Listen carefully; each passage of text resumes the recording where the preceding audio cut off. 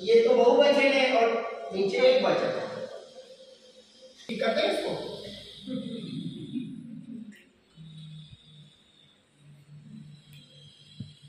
सम्यक दर्शन ज्ञान चारित्राणी मोक्ष। ने सारे संस्कृत के विद्वान करके हैं मैंने पढ़ाई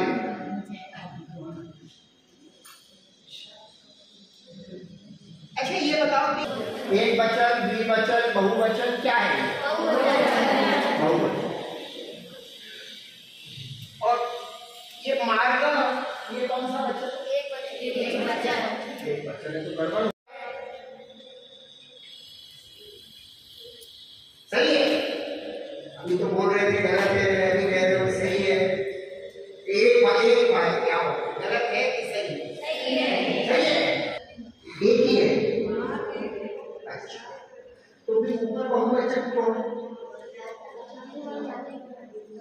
तो हर आत्मा के लिए रास्ता भी अलग अलग होगा तो फिर मानना नहीं हो जाएगा।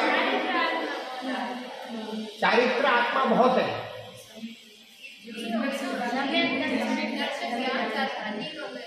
तीन हो गए।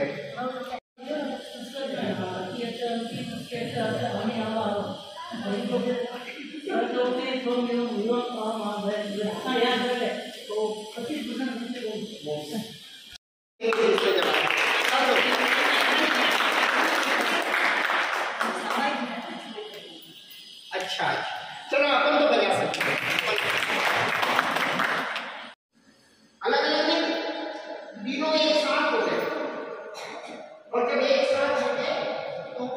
मोक्ष मार्ग बन गया तो पहले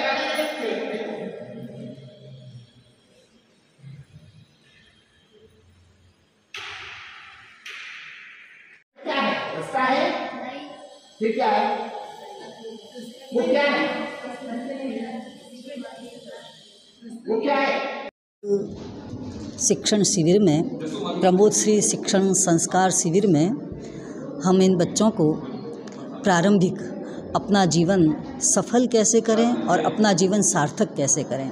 सफल का अर्थ होता है अपने इस जीवन में ये ज़्यादा से ज़्यादा आनंदपूर्ण, समाधिपूर्ण और शांतिपूर्ण जीवन कैसे जिएँ और साथ ही अपना जीवन संसार के लिए, सृष्टि के लिए, सहयोगी के रूप में किस प्रकार से ये प्रस्तुत कर सकते हैं? इस प्रकार के संस्कार इन बच्चों में प्राप्त हो इसलिए इस शिक्षण शिविर का आयोजन किया गया है।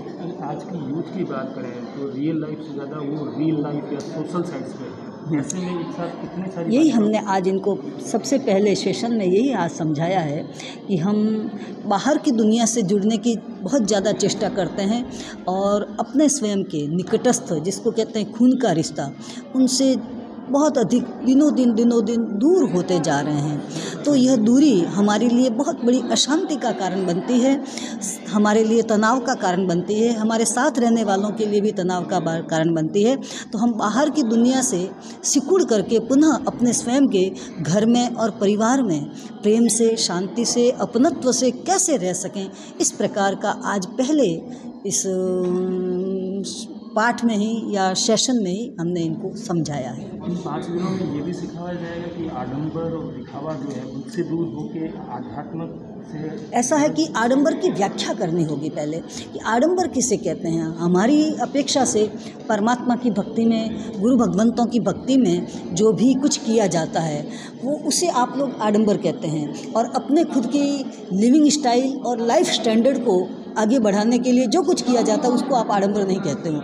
हम ये कहते हैं कि अपने खुद पर जो खर्च किया जाता है, उसको हम आडंबर कहें और परमात्मा की भक्ति में, गुरु भगवंतों की भक्ति में जो कुछ किया जाता है, उसको हम शासन प्रभावना कहते हैं, ताकि उसे देख करके अन्य जाति के या अन्य समूह के जो परमात्मा के शासन को अभी तक समझे नहीं हैं, उनके हृदय में भी उत्कंठा पैदा हो, एक जिज्ञासा पैदा हो कि यह परमात्मा का शासन इतना अच्छा है कि जिसमें गुरु भगवंतों के लिए और परमात्मा के लिए इस प्रकार का समर्पण प्रकट होता है।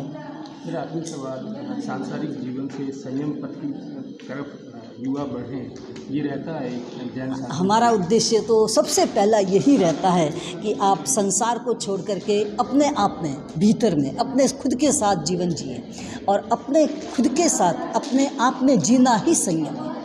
उसके लिए पाँच दिनों में काफ़ी कुछ सिखाया गया। ऐसा है कि लक्ष्य हमारा यही है, परंतु हम कोई इस प्रकार से बाँध करके इस लक्ष्य की ओर नहीं लेकर के जाते बट प्रेरणा देते। हम धीरे धीरे एक एक सीढ़ी इनको चढ़ाने की कोशिश करते हैं और जो चढ़ जाए, उसके लिए हमारा बहुत बड़ा स्वागत है और जो न चढ़ सके, उनको धीरे धीरे और अधिक प्रेरणा लेकर के भी चढ़ाने की कोशिश करते हैं।